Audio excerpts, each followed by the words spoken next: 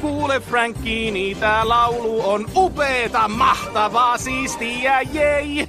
Ei. Aivan vaaraskiri puhuin sarkastisesti. Mun apuri ja mä ei aiota hyökätä, jos loitsun poistamaan meet. Jei. Jaa.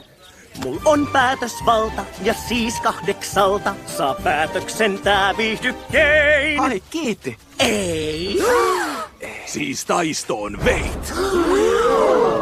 Ei saa värittää, kunnan pääset sovintoon. Siis huima käsikä mä näin alkakoon. Hän nyrkit kohottaa. Joku namuttamaan NYT. Ei vaan.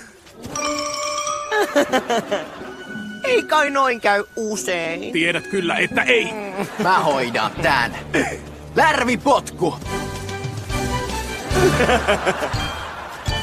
Sori vaan, nyt kupla poksahtaa. Ei musikaaleista tapella, vaan tanssitaan. Ei käsi osu konnan kun Joo, tuli. Sori. Uh, muuten kokeilkaapa ampua teidän pikku laasereilla. Musikaaleissa kaikki aseet on rekvisiittaa. Nyt riittää! Ei nyrkit auta, miksei mene jakeluun. Vaan jollain muulla tapaa konnan fukistuu. Frankini säännöt loi. Roi.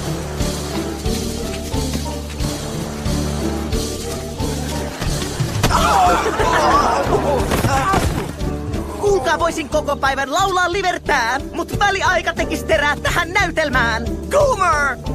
Ota kiinni!